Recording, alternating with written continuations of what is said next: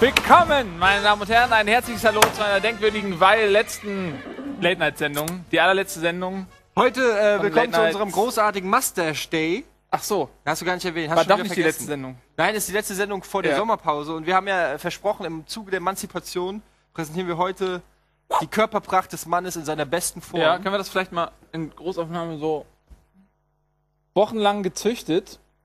Ihr müsst ja, glaube ich, ein bisschen Ja, näher ranzoomen, näher ran, damit so. man das sieht. so, richtig nah, komm. Noch näher, dass man wirklich Poren sieht. Die wollen, die wollen, dass wir uns küssen. Das machen Männer nicht. Noch näher. Geht nicht. Egal. Jedenfalls haben wir einen sehr krassen Bart äh, über die Monate Ich habe mich heute Morgen wachsen lassen. Und das fühlt sich richtig gut an. Also man geht auch mit einem ganz anderen Selbstbewusstern morgens in die Bahn. Muss Ja, man wirklich total. sagen. Ich habe das Gefühl, die Leute habe ich mich heute an, Cap an. nehmen mich auch viel eher wahr als früher. Bei Ja. dir? Ich, ich muss sagen, ich, fand- ich habe mich richtig eklig gefühlt heute Morgen, als ich mich rasiert habe und äh, ja. dann diesen äh, Mustache. Ich finde das Wort viel besser als Schnurrbart. Mustache. Ja. Das klingt so ein bisschen Wie französisch. must have. Must have. You Must have, a mustache. Ja. Ja. Und es war mir schon ein bisschen unangenehm, deshalb habe ich dann so, also ich saß eigentlich so in der U-Bahn heute. Ja. Ja? Aber so viel sieht man ja gar nicht. Also, Was denn das jetzt heißen? Du meinst von meinem Schnurrbart oder ja, also der ist ja auch so hautfarben bei dir so. Der ist so ein bisschen getarnt. Das ist Camouflage. Camouflagebart. Ja, Ja, ist nicht schlimm. Aber, Egal, äh, ich habe mein Bestes gegeben. Äh, heute übrigens, ähm, also was, was ist heute? 19.7.? Ja. 19.7. wird für alle Zeit der Mustache Day sein. Also jedes Mal am 19.7. Das ist ein offizieller deutscher, nein, was? Ein offizieller Weltweit. weltweiter Feiertag. weltweit. Der Und- Tag des Schnurrbarts. Ja, und dann müsst ihr auch bitte in Zukunft bitte den ehren und euch immer schön die Schnurre wachsen lassen. Wir haben heute eine fantastische Sendung. Neben unseren Schnurrbärten gibt es einiges zu sehen. Zu einem äh, haben wir heute zu Gast Onkel Fisch werden hier sein und Wahnsinn. Äh, performen. Ja, live Ja. und zwar. Und äh, dann haben wir noch einen ganz geheimen Gast. Und den können wir jetzt auch schon direkt begrüßen. Wir werden ihn frühzeitig reinholen. Ja. Denn wir haben um sehr, jetzt- ja, um weil jetzt wir haben sehr, sehr viel zu zeigen und damit wir ein bisschen äh, die Möglichkeit haben, ich möchte ihn kurz ankündigen. Ja, bitte. Ja, so, ähm, ja, ich habe, ja, als ich damals vor langer, langer Zeit bei Giga angefangen habe, äh, wurde er mir zur Seite gestellt. Wir haben zusammen damals äh, über zwei Jahre hinweg den PC-Bereich bei Giga Games gemacht. Dann haben sich unsere Wege getrennt. Aus einem ist ein erfolgreicher Star geworden und den anderen haben wir heute du? zu Gast. Was? Ja, ich Ja, wollte es noch umdrehen. ja. Ich wollte es noch verhindern. ich wollte ne? Gast ich wollte noch Kann man nichts rumreißen, aber es äh, knapp. Hier ist er. Hannes Appell, meine Damen und Herren. Applaus, Applaus, Applaus. Wahnsinn. Wie geht's? Hannes. Ah, Hannes. Mensch, Ah, freut mich. Setz Freut dich mich. bitte, Danke, nimm Platz. danke. Wahnsinn, dass du da bist. Das, äh, du bist ja, man kriegt dich ja kaum. Also, also Ja, es ist ja. unglaublich schwer, an, Ja? mich ins Studio zu kriegen. Also, Super. wir hatten ja George Lucas hier, Ja, Justin ja, ja. Timberlake und so. Ja, meine Agenten, du kennst es ja, ne? Das Palastregime, das muss man erstmal durchkommen durch die ganze Apropos Palastregime, Bürokratie. können wir mal zeigen, Hannes ist ja der größte Star Wars-Fan aller Zeiten. Zeig doch mal bitte dein Ja, ich mein, wenn es jetzt Mustache Day ist, eigentlich Ja, ist ja hier. äh, Zopf wir- Day. Aua! Hier, wie, wie ist es, äh, hast du nicht Lust, ihn hier zu lassen? Wir versteigern den um dann? Himmels Willen. Was hat's denn damit aus? Das ist wirklich dein Padawan-Zöpfchen, so deine Hommage an Ja, die das war, warte oder mal, was? wann war denn das? Ähm, ich glaube, vor zwei Jahren war ich eine Wette verloren irgendwie. Ob ich mich das traue zur Premiere von, ich glaube, Episode 2. Hast dich verdammt geärgert, dass du die Wette verloren Ja, hast. ja, ne? ja, Ach, genau. verdammt, da muss ich mir einen Das ist doch schon längst vorbei. Star Wieso Wars. hast du den immer noch? Zopf machen. Kennst du es nicht, wenn du die lange Haare wachsen lässt, dass du dann irgendwie, du investierst was? Das ist so wie dieses Gefühl, das Ja, gehört dir und du willst es nicht wieder loswerden. Also Ja, ich glaube, ihr das werdet die auch nicht mehr los. Mit meinem. Bart kenne ich das jetzt. Aber ich finde es auch traurig, dass ihr mich nicht äh, gewarnt habt. Ich hätte ich auch mich sechs Stunden mal nicht Ja, rasiert aber oder Hannes, so, wir haben dich ja schon vor einem halben Jahr eingeladen. Wie hättest du es schaffen sollen? Im Übrigen, äh, ganz kurz, bevor wir uns gleich äh, einem der Gründe widmen, Ja. neben deiner Persönlichkeit, die ja auch ausreichend ist, äh, weshalb du da bist, müssen wir noch mal kurz den äh, Night of the Week abhandeln. Äh, das ist ja natürlich der, der Mustache. Ist ja ganz klar, weltweiter Mustache Day. Und äh, das hier ist also der Night of the Week. Da ist die 2. Wo ist die 4? 3. Ah, da, da ist die 5. 6. 7. Da ist er auch schon drauf. Da ist er! So, und den, äh, der kriegt natürlich deinen Ehrenplatz. Wenn du es ein bisschen mehr so hältst, es so aus. Ah, jetzt reicht's aber auch. So, der Jetzt- kriegt jetzt hier den Platz auf dem. Äh, Was war eigentlich das hier für den Night of the Week? äh, das war der, Der Wasserfleck der von den Gülcan. Gülchans. Kennst du nicht die Gülchans? Guck mal hier, der Mark, Pro 7? Ja, ja, ja. ja. Mark Matlock. Oh, So. das sieht böse aus.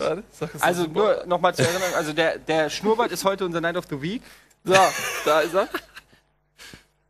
Und äh, wir haben natürlich auch die Top 5 dementsprechend heute ausgerechnet. Top 5, äh, wir haben immer äh, Mhm. fünf Sachen, Fünf die Sachen. wir, die wir äh, in einer Rangliste äh, präsentieren. Heute die Top 5 Schnurrbärte. Allerdings haben wir uns überlegt, wir machen das heute ein bisschen anders. Und zwar haben wir fünf Schnurrbärte ausgewählt und ihr hier alle im Studio müsst erraten, zu wem diese Schnurrbärte gehören. Ihr könnt auch reinrufen. Und wir haben ja dieses Tuch geschickt bekommen, das ja, äh, könnte ja vielleicht funktionieren, wenn das nicht durchscheint.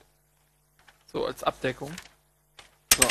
Das geht auch hiermit. Nee, Also ich darf auch mitraten, oder? Oder wie oder was? Oder äh, nicht? So, wir fangen. Ja, doch, du darfst klar. Natürlich Okay. darfst du mitraten. Du darfst mitraten. Hier, äh, damit fangen wir an. Unser auf Platz 5, der Schnurrbärte. Studiopublikum kann bitte reinschreien Wenn es durchaus. jemand weiß. Ja, Eddies Mutter, äh, das war gleich das erste. Der, die kommt aber auf Platz 3. Den Spruch habe ich so wenig Ja, ich meine, gehört. in der Zeit. Die, die, die, die Tolle verrät hinten, ne? So ein bisschen, oder? Ja, ich ist, sagen, äh, also- ist Ich hab's, ich hab schon gehört. Ja. Rudi. Wer hat's gesagt? Irgendwo hinten kam's, ne? Da. Ja, Hier. der Rudi Martin, Völler. ne? Wahnsinn. Rudi Völler, vollkommen richtig. Auf Platz 5. Der berühmtesten Schnurrbärte aller Zeiten. Völlig zu Recht. Hat ein krasses Teil, oder? Und vor allen Dingen, äh, was man ihm zugutehalten muss, der ist wirklich konsequent mit dem Schnurrbart durch die Welt gelaufen. Seit Jahren. Man kennt ihn damals noch 1972, als er bei Offenbach groß geworden ist. Ja, da hat er schon eine Schnurre gehabt. Und äh, als Nationaltrainer. da habe ähm, ich persönlich angefangen, Rudi Völlers Karriere zu verfolgen. Ja, du kommst doch aus Offenbach, oder nicht? Lustig. Wie ist. Doch, lustig. Du hast mir erzählt, du sagst immer, du kommst aus Frankfurt, du bist aber eigentlich Offenbacher. Das ist so lustig. Ja, was soll ich sagen? Entschuldigung, dass ich das jetzt ausgeplaudert habe. Nicht, dass das irgendwie deine Wir- Fanbase Wir kommen, wir ruiniert. kommen zum nächsten Schnurrbart. Ja, zeig ihm Aber nur das eine gleich kurze Zwischenfrage. Kamera. Offenbach ist auch, kennt ihr voll Assi. Mhm, mhm. Voll Assi Toni, kennt ihr? Voll? Asitoni, ja klar. auch aus. Klatsch, klatsch, klatsch! Ja, ja, ne? Ja. Oh, Da musste hier richtig. so ein Zufall, du kennst voll Asitoni. Hallo, das ist eine lokale das wollte ich fragen, persönlich, nee, oder? Kennst du persönlich? Ja, Nee. so, das ist jetzt ein unheimlich schweres Rätsel. Vielleicht lassen wir den Nils mal Wieso habe ich raten. diesen Tuch hier, dieses Tuch hier eigentlich dabei? So. Wir lassen einfach mal äh, den Nils raten. Wer könnte das wohl sein, dieser Schnurrbart? Ist unglaublich schwer, wenn man das Gesicht nicht sieht, aber vielleicht. Du wählst aber auch immer die unbekanntesten Fotos von den jeweiligen Leuten, ne? Ja, äh, höre hör ich da irgendwas aus dem Publikum vielleicht? Rainer Kalmund höre ich da, ja. Rainer knapp Kalmund, daneben. knapp, ja, vielleicht noch aber gleiche. Liga. Noch jemand vielleicht? Ne? Es ist Nee. natürlich. Ja. Ja, wer hätte es nicht kennt gedacht? ihn, ne? Man Äh, erkennt ihn sofort. Oliver Pocher. Oliver Pocher, ja. Ja, so. Äh, dann haben wir. Du zeigst jedes Mal den, das ist so dumm von dir. Schnauze. Ist wirklich so. So. Das wird jetzt auch, so wie ich das, das ist tue, sehr halte, schwierig. unglaublich schwer. Und man kann es gar nicht erraten, weil ich ja den Kopf verdecke. Ja, wer könnte das denn sein? Ja. so. Steht doch schon auf dem Shirt, oder? Ja, Wer äh, könnte, ich da welcher? Schnurrbart könnte sein? Regisseur aus der Regie Eddie Murphy, das ist falsch. Ja? Da hinten vielleicht noch mal ein Tipp. Hulk Hogan. Hulk Der, der, Hogan. ich dachte jetzt der Hulk Hogan Innenminister ist oder so. richtig. Ja, Hulk ja. Hogan, äh, Hulk Hogan, der unbekannte Bruder von Hulk Hogan, der sich äh, durch ein prächtiges Gemächt auszeichnet. Äh, man sieht, ja, er macht Werbung für Nudeln. Die heißen übrigens. Ist es Hulk Hogan, Äh, ist es Tim Pasta man weiß es Mania. nicht. Steht da auch. Es gibt's tatsächlich. Ist, äh, macht da Werbung für. Ich hätte gar nicht gedacht, so, ich habe den mit der Kochmütze gesehen und im Sturm habe ich gedacht, das ist Zachal, aber war Ja. es doch nur Hulk Hogan, ne? So, äh, wir müssen uns beeilen. Äh, Jetzt habe ich schon wieder gesehen, was es ist. Ich kann nicht mitraten. Das ist nicht so einfach hier mit der Nee, Konstruktion. das ist richtig. Das ist alles nicht so leicht. auch hier wieder sehr schwer zu erraten, wem dieser Schnurrbart Ja. gehört, weil ich das Gesicht verdecke. Wem gehört dieser Schnurrbart?